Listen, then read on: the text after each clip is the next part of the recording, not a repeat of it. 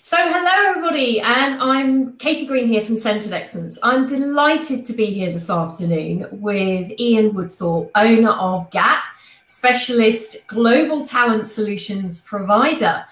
And Gap have come on a truly incredible journey in the last 18 months where they've doubled their turnover more than once, uh, closed their London operation, relocated to Ireland, restructured their recruitment model and service offering, um, even gone as far as to change their language with their customers. So, safe to say that the business operates very differently to where it was just 18 months ago.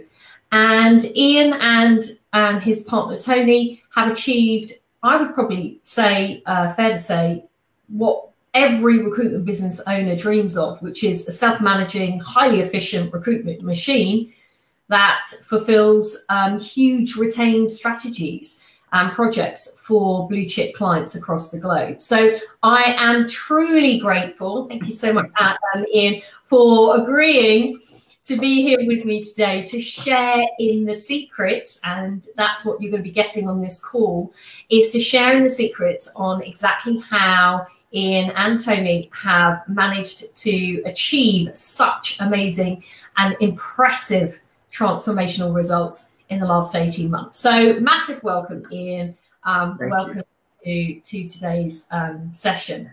Thank you, so, Katie. It sounds, sound, I mean, it sounds brilliant. Uh, you know, say it again. So, uh, so, thank you. I'm honored to be on here. And, and the irony is, I'd actually said to you, we've had such a big transformation in our business. You should use this as a case study. And here we are. So, oh, pleasure to join you.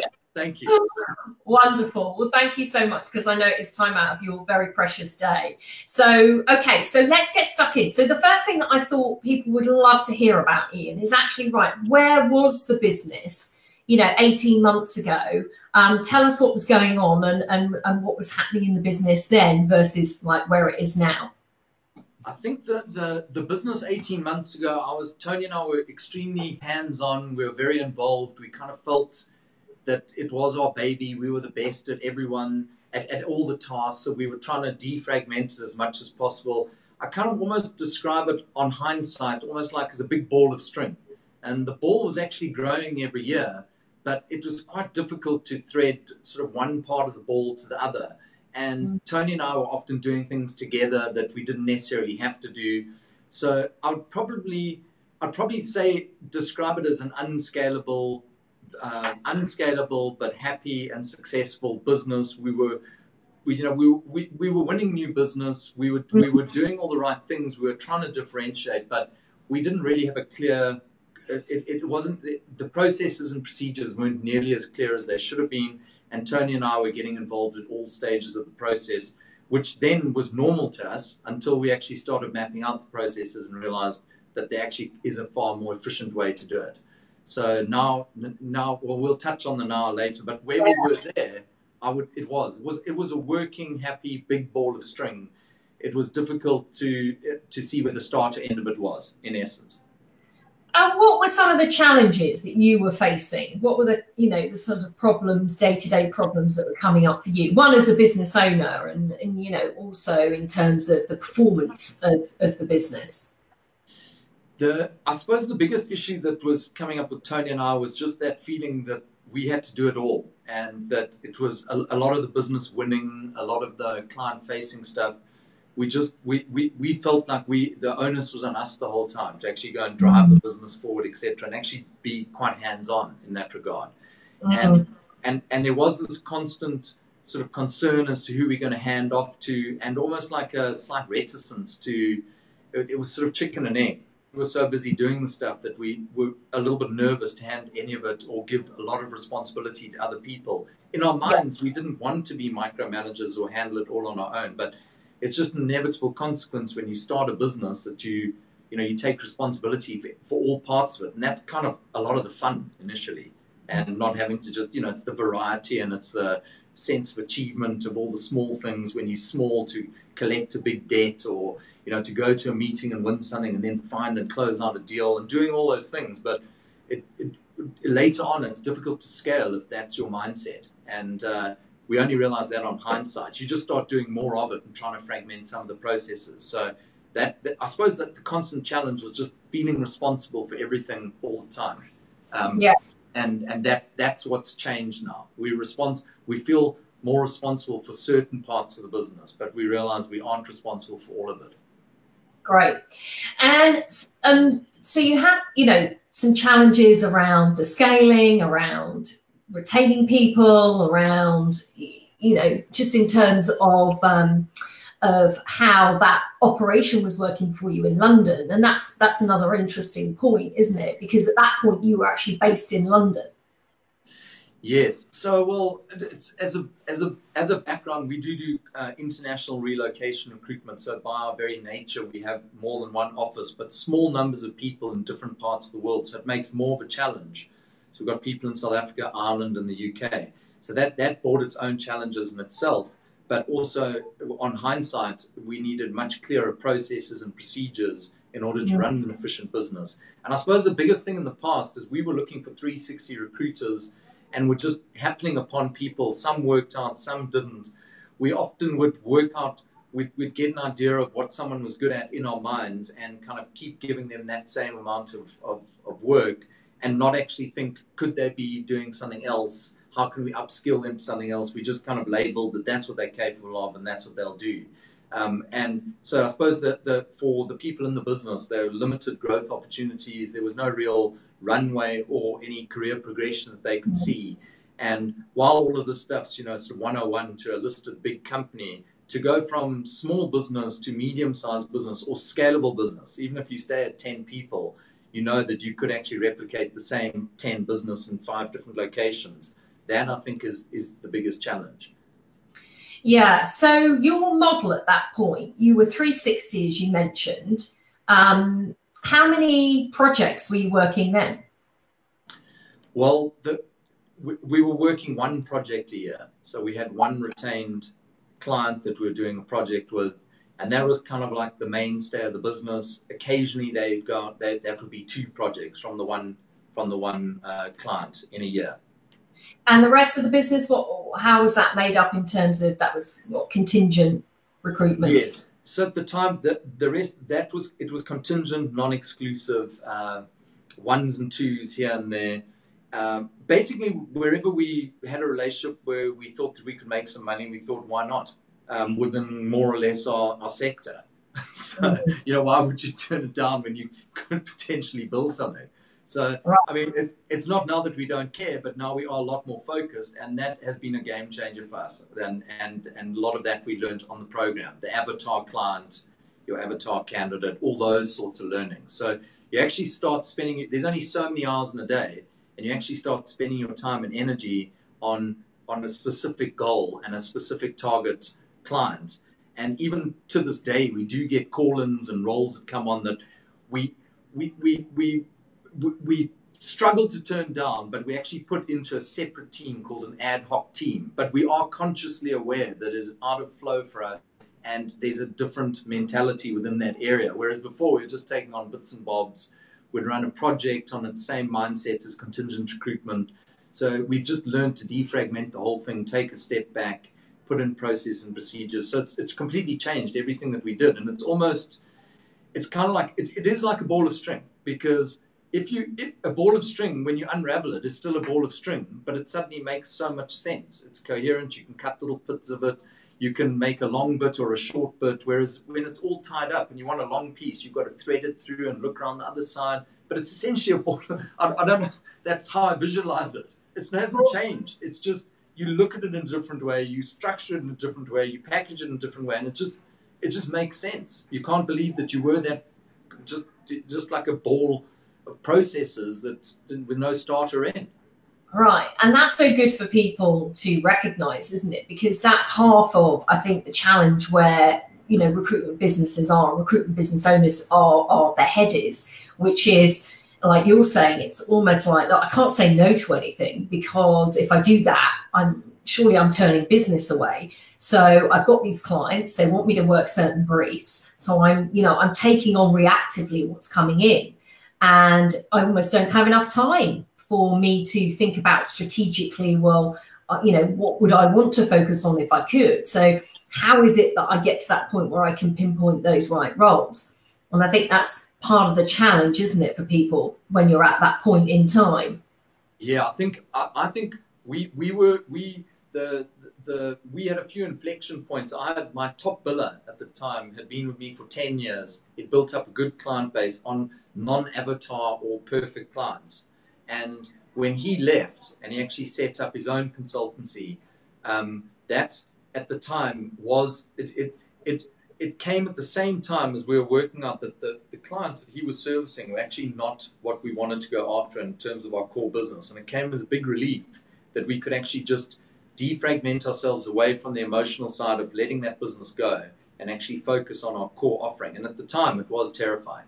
Um, it, it was, it did, it did take a deep breath in. And I've had a few bits of luck along the way as well, because when you, when you luck in terms of the timing, uh, so my business partner, Tony, who's Irish, uh, we set up an office when he moved back to Ireland.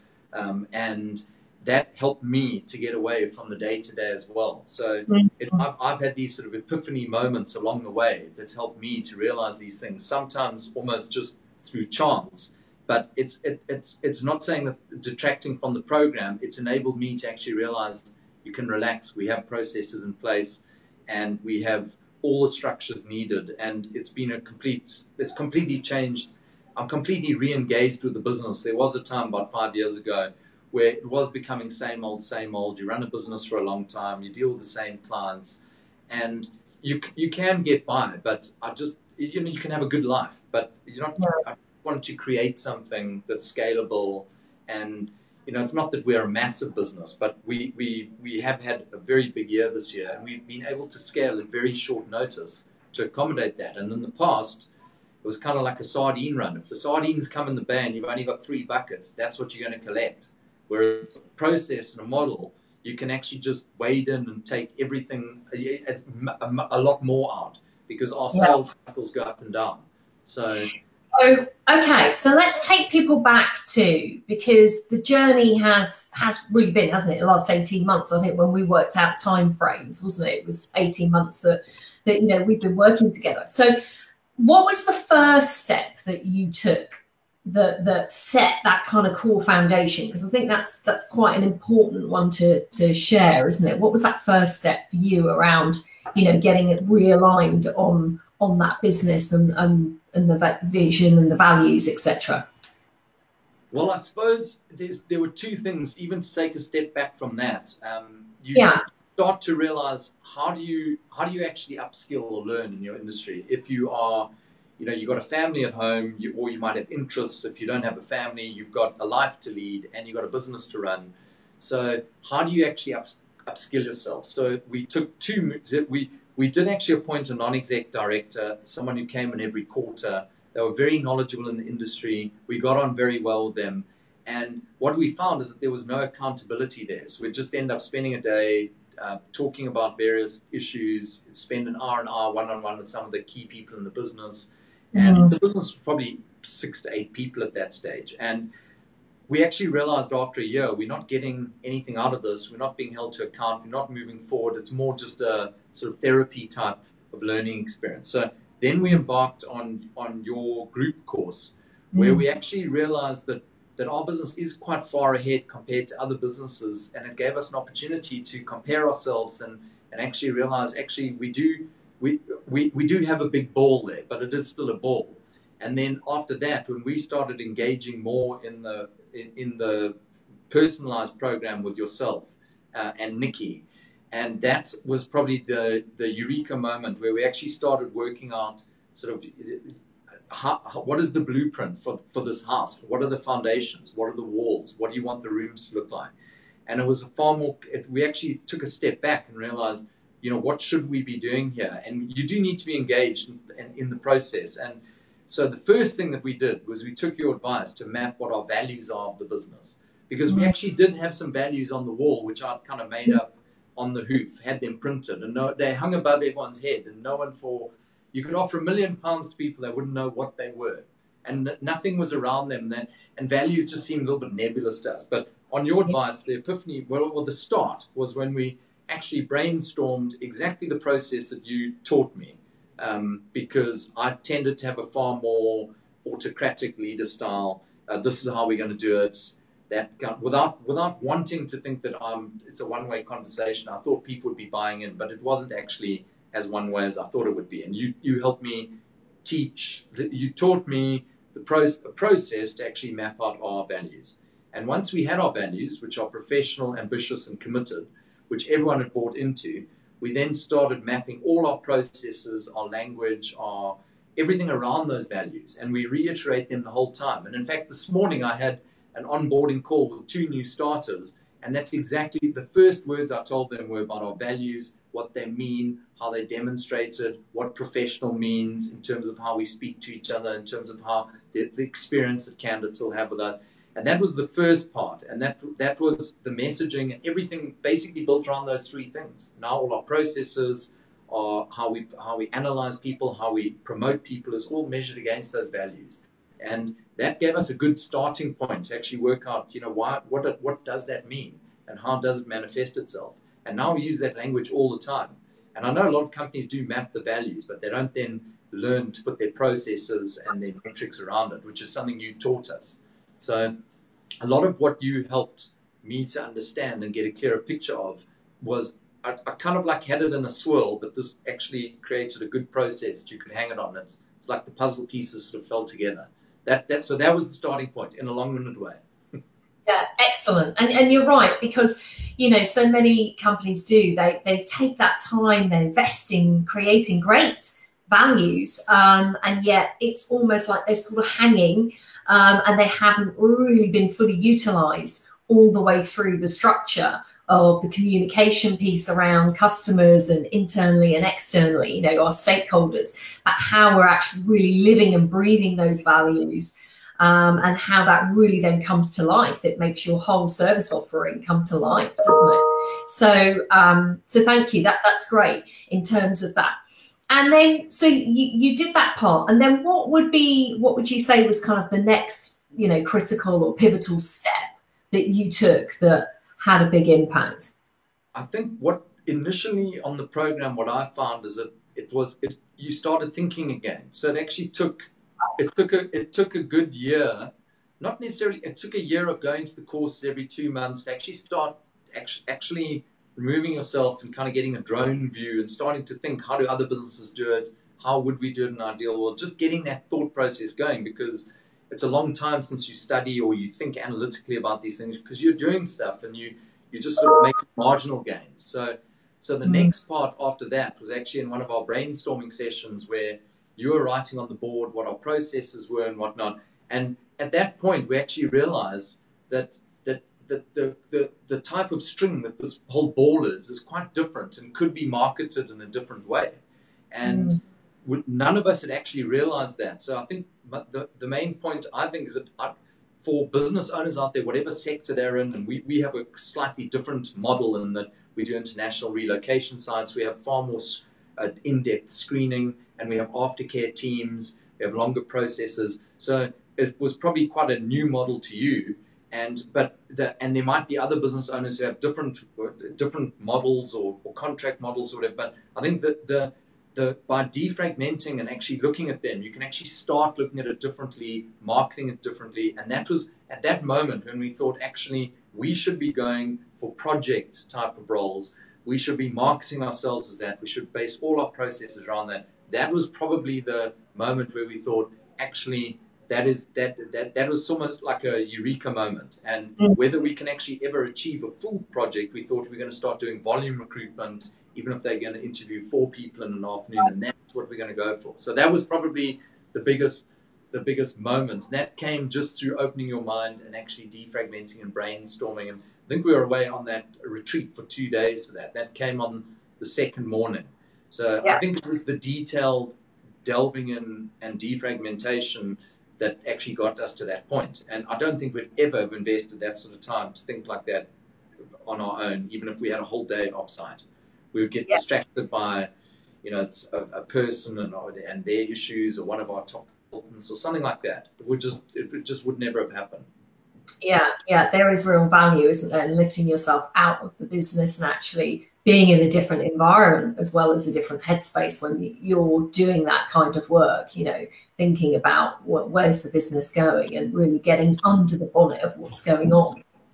Yeah. So, uh, so let's talk about how that then sort of made that shift because you're right. So you, the processes you went through, you got clear on those, and then how did we, you know, how did you create that service offering and then take that to market? Because that's pretty well, I think once you start actually realizing that the string does need to be laid out in a more coherent format, and you actually start unraveling the pieces, then then you start to actually work out what is our model going to look like. And a lot of your guidance helped in terms of the the way forward. The 360 is becoming less and less prevalent simply because it's a hard skill set to find. And a lot of the, the you, you opened our eyes to the talent dynamics test that you help with where people you, you measure people for what they're good at you put them in roles that they're good at and that that was also a, a, a big moment for us because we started to actually think differently and realize that that a lot of our people had just kind of drifted from one role into another into another. There was no clear coherent game plan and mm. sometimes they were in, in what they were doing they were good at some things but not good at others. And this way we could actually work out what are they best at and let's focus them on that. And what are we best at and let's focus on that. And probably the, the, the first step uh, to be more specific was when we brainstormed onto the 180 model. So yeah. we moved away from the 360 model. And from there we started actually working out okay where's this process going to start and end? What are the skill sets you're going to need for that? Where they're going to grow to how are you going to measure them? How are you going to check how, on the way in? And that actually drove us to start being far more selective about and our, about our process, bringing people into the business. And it is totally ironic that I'm married to a doctor, and the lot they have to beg to go and get antibiotics.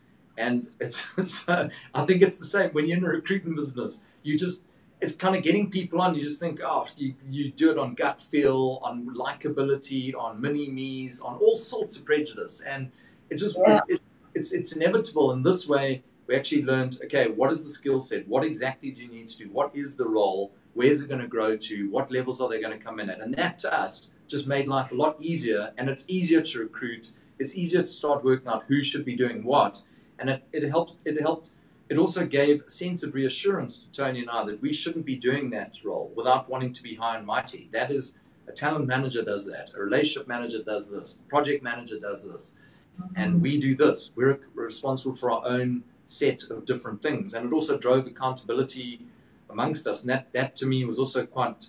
It, it, it, it was a sort of a breath of fresh air, and um, I, so I think I think that that to me if I, I think if people are just looking for a passive way to grow their business, they you know they can feel better about doing online course or maybe a motivational thing will rile them up. But in terms of the actual someone to hold to actually show teach processes to help drive it and, and, and actually teach them ways to actually fish so that you can actually help feed the business. That's what I've learned a lot from from your course and, and from you in particular. So I'm, I can only, I, I've always said, Katie, I, I'm, I'm very complimentary. I'm, I'm not trying to, and I remember you showing, sorry, I, I know it's a bit informal, but I remember you showing us uh, on the first, uh, uh, some of the, the case studies and the stories. And yeah. on the first day, you're never quite sure, no, I'm not quite sure if they did double their turnover or you're not, I'm, you, you, it's always a slight skepticism, I suppose. But now it's it's just a bit surreal to be in, you know, here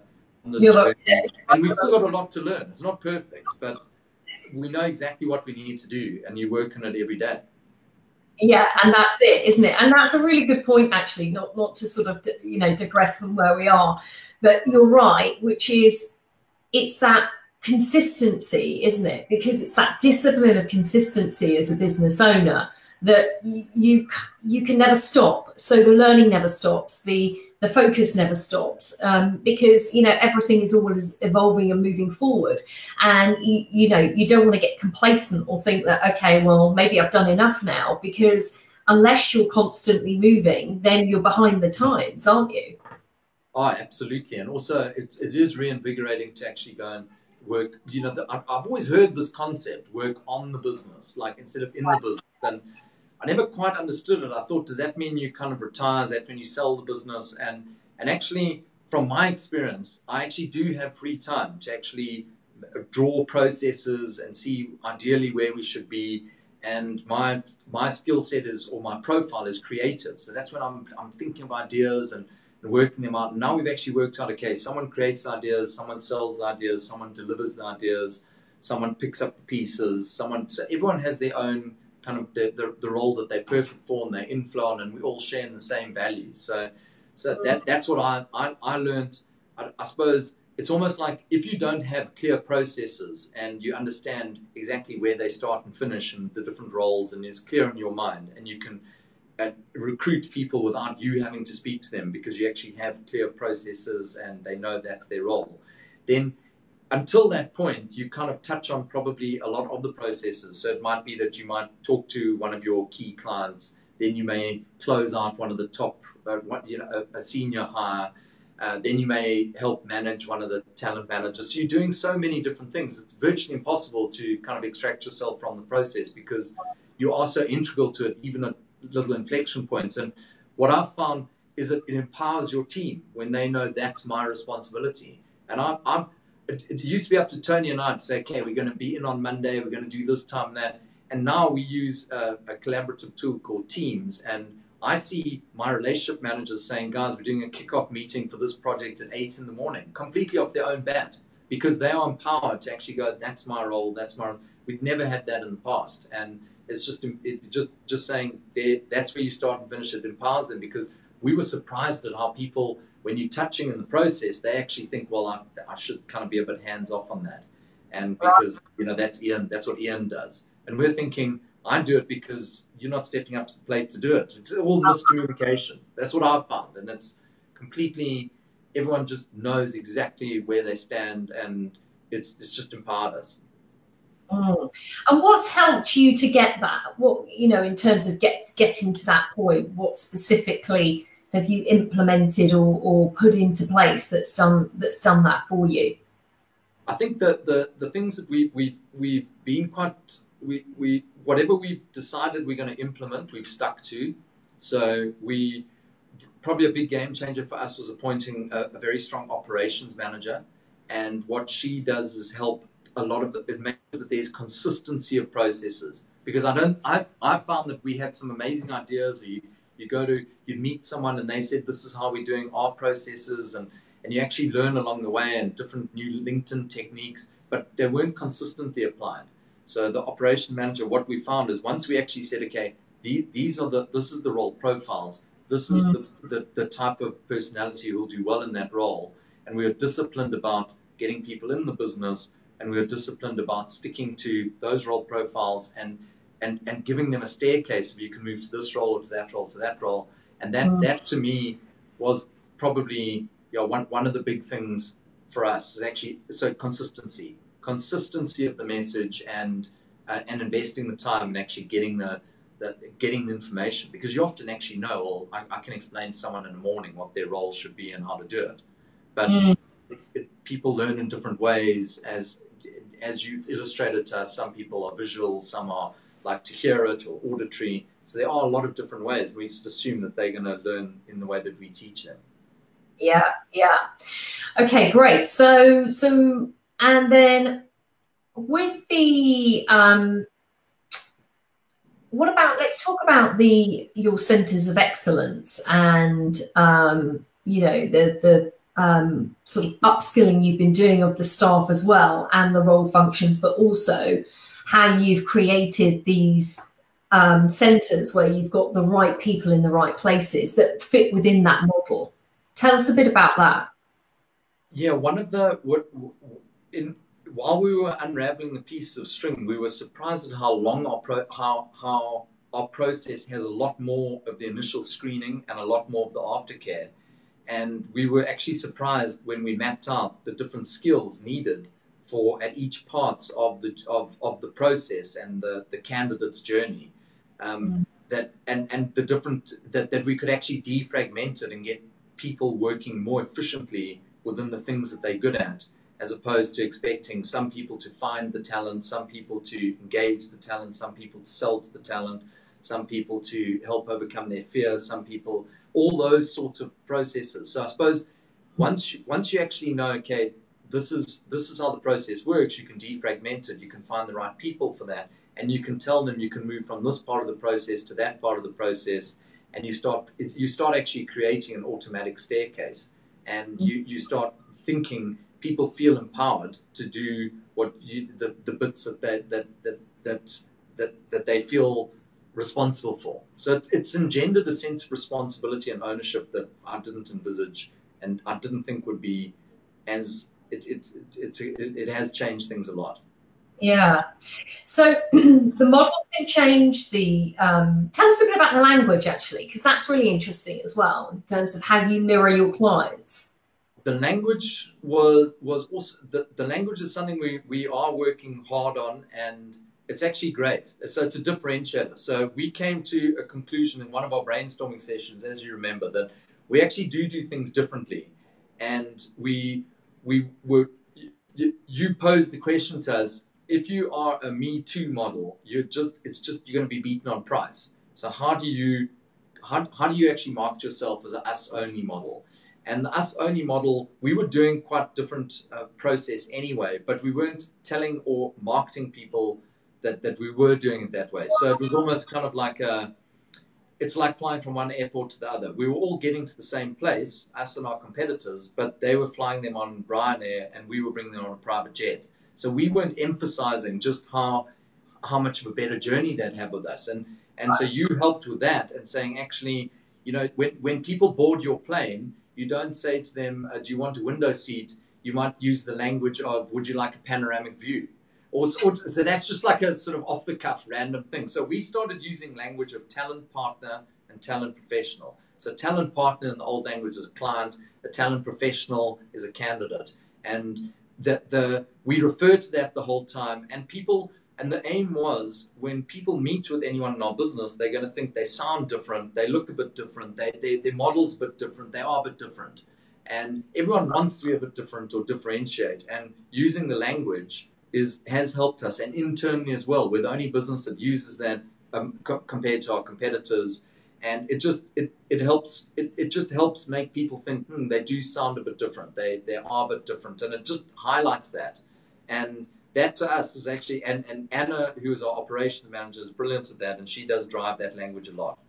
Yeah, yeah, definitely. Uh, yeah, and it does. Everyone feels quite proud to actually have a unique um, yeah. You know, differentiator and they're really important aren't they? Particularly in the you know in the way that recruitment is progressing you have got to be different. You've got to be stand out from the crowd haven't you to get in front of those clients? And certainly i think it, it's made a difference for you guys because you were up against very tough competition weren't you in your market?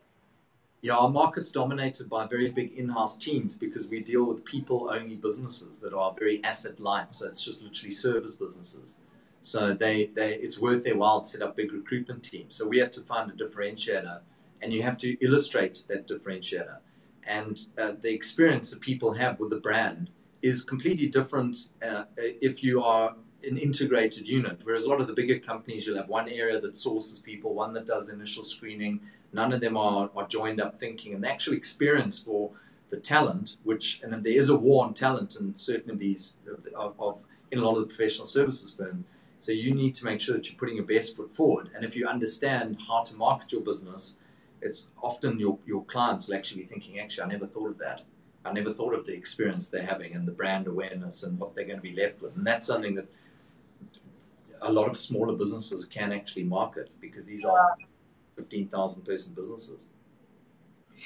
Yeah, and it's interesting, isn't it? Um, just in terms of how you know how you went about doing that, because I know you know Tony's not on the call with us today. He's hopefully sunning himself somewhere really nice. um, but you know he he is you and him are you know a real duo in the sense of when you know we first started working together you were very much as you say in the business and you guys weren't out doing that client facing piece which in fact is where you are both so incredibly just like phenomenal, brilliant at. And um, actually, at what point did that enable you guys to get out? Because that's when business really started flying, wasn't it?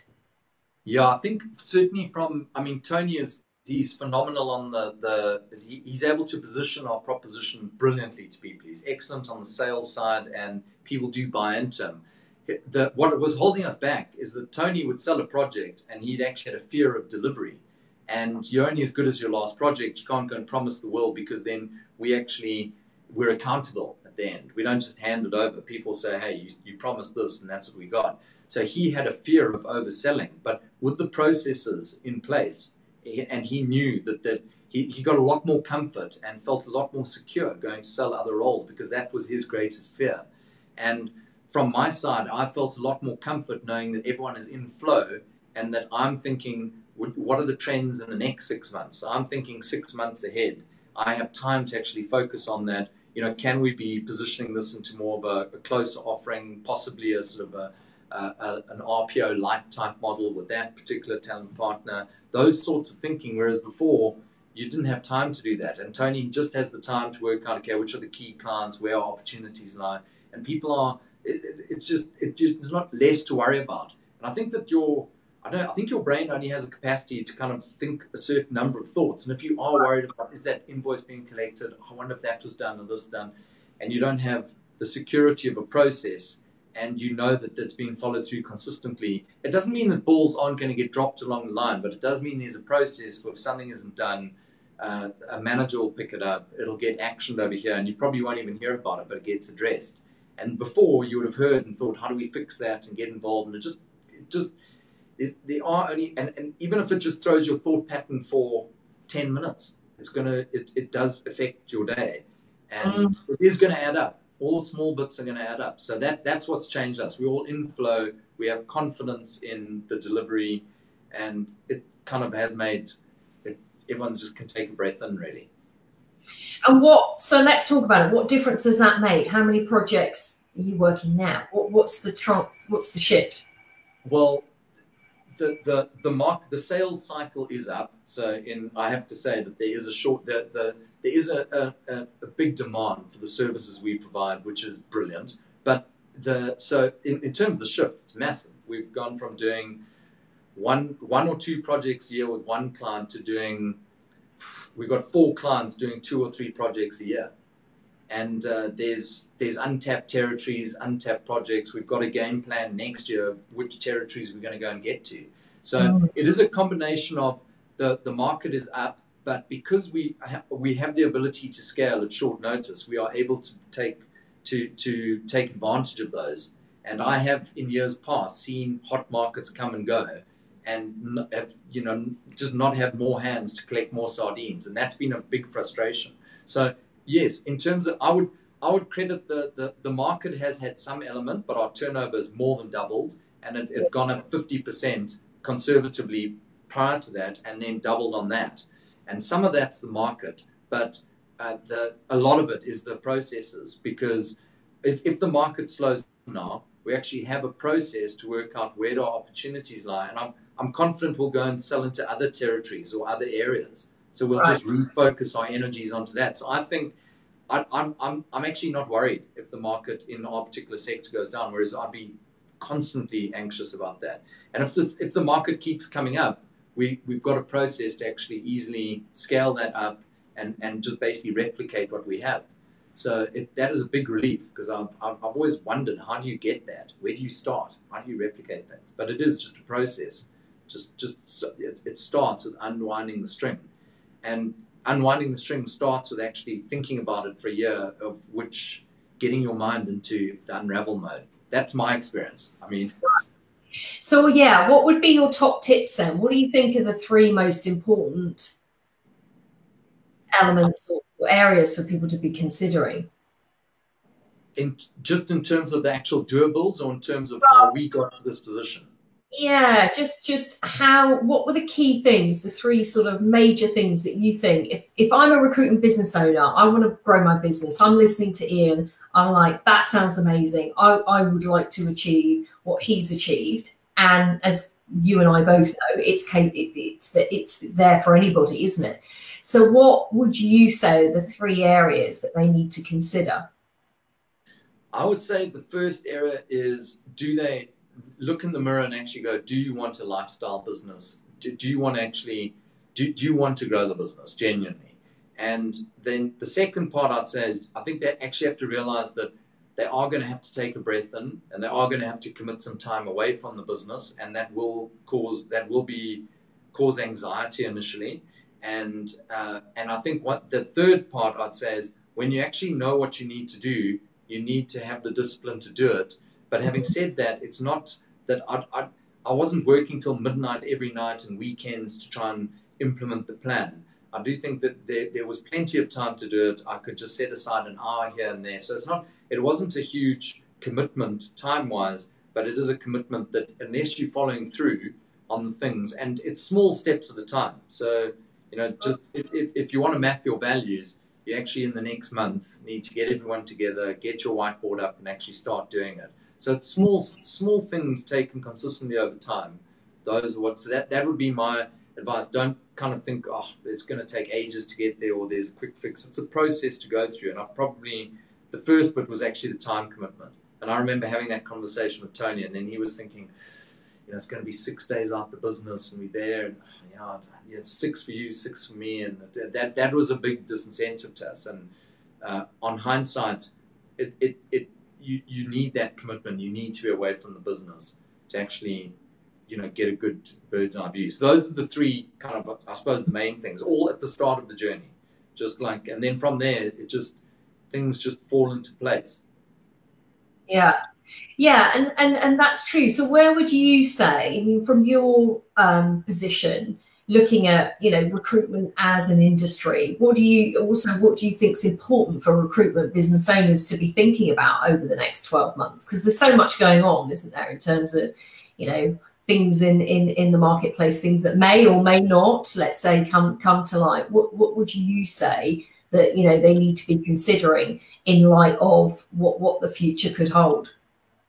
I, I think more and more firms are able to access the talent or know who's out there and map the talent in the market.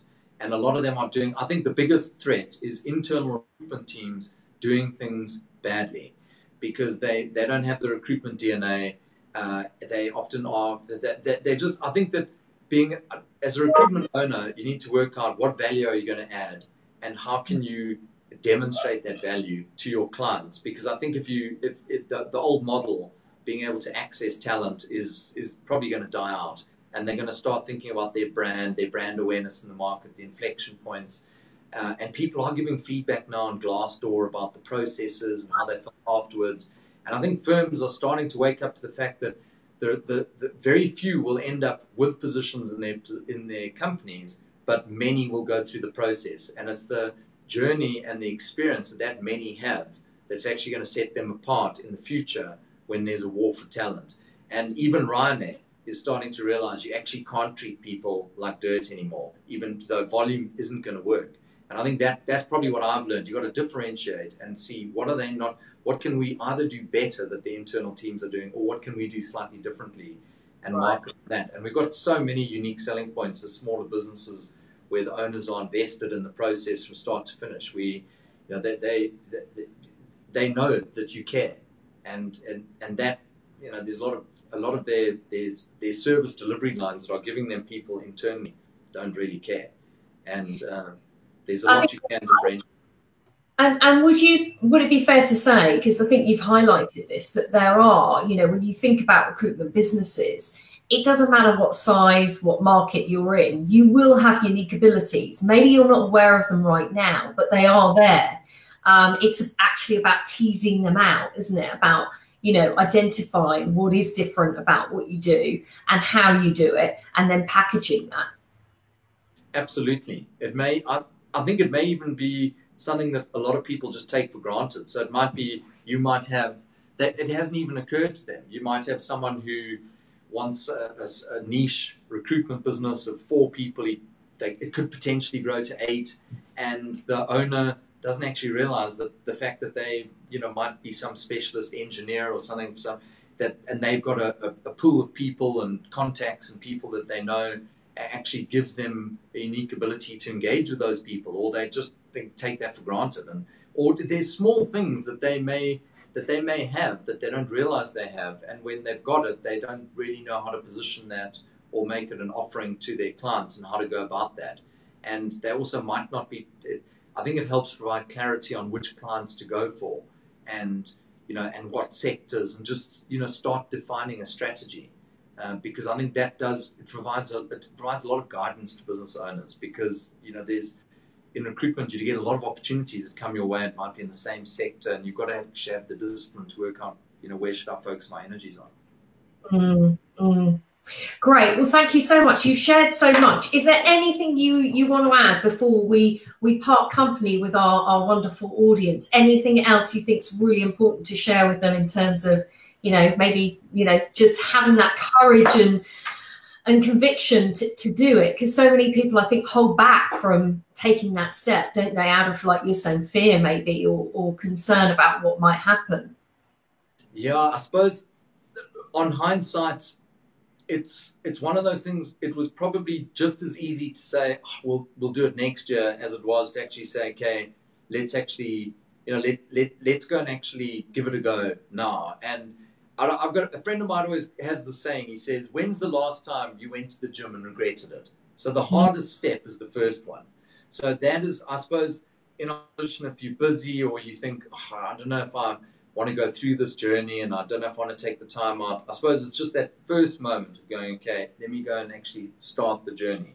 And mm. I suppose it's just like it, it's it's like doing a, a, a marathon. It starts with the very first mile and then you just find your rhythm as you go along. So I suppose the thing is, don't be scared by the time out the business because you actually need it, and you'll it, the the return on investment is, I mean, it's you know it's it's been huge for us.